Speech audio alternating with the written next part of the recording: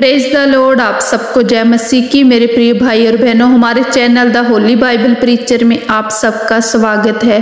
मेरे प्रियो, आज मैं आपके सामने योहन्ना बपतिस्मा देने वाले की कहानी लेकर उपस्थित हुई हूँ।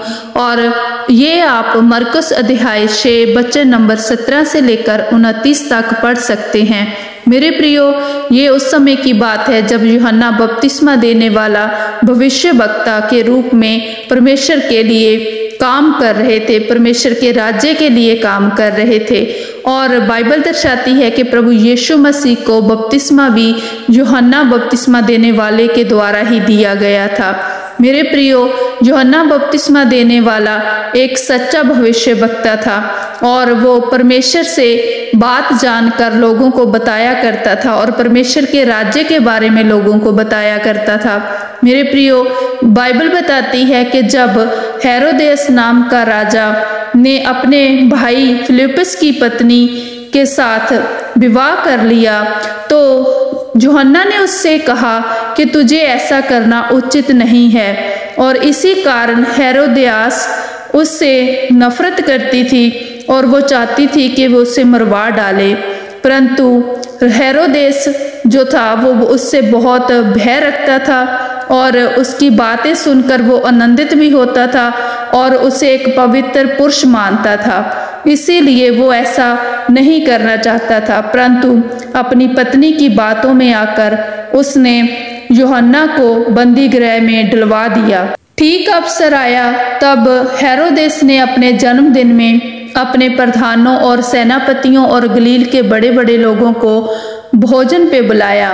तो हेरोदियास की बेटी भीतर आई और नाच कर हेरोदेस को और उसके साथ बैठने वालों को प्रसन्न किया। पर राजा हेरोदेस ने लड़की से कहा, मांग जो कुछ मुझसे तू मांगना चाहे, तुझे मैं दूँगा।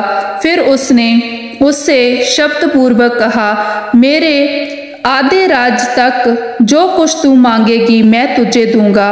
इस पर वह बाहर निकलकर अपनी माँ के पास आई और उससे पूछा, मुझे क्या मांगना चाहिए? फिर माँ ने बताया, बपतिस्मा देने वाले जोहन्ना का सिर।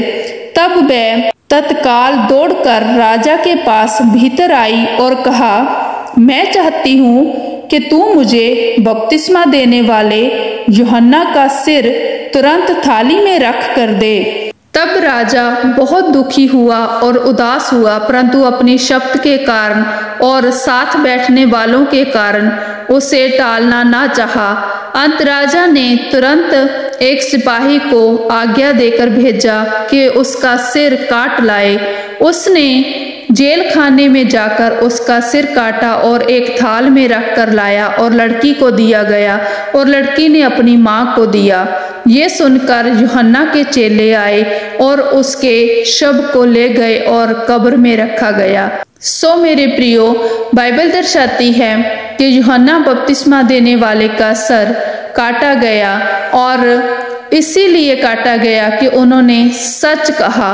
सो मेरे प्रियो, अगर आप परमेश्वर से प्रेम करते हैं, आप परमेश्वर के वचनों को मानते हैं, आप परमेश्वर की इच्छा के अनुसार चलते हैं तो आपके जीवन में बहुत कठिनाइयाँ आ सकती हैं। लेकिन परमेश्वर हमेशा आपके साथ है। आपको किसी बात से घबराना नहीं चाहिए। आपको हमेशा सच का साथ देना चाहिए। और ये वचन मैं आपके साथ शेयर करती हुई आपका धन्यवाद करती हूँ। परमेश्वर आपको ब्लेस करे, बहुतात की आशीष दे। आप सबको जय मसीह की।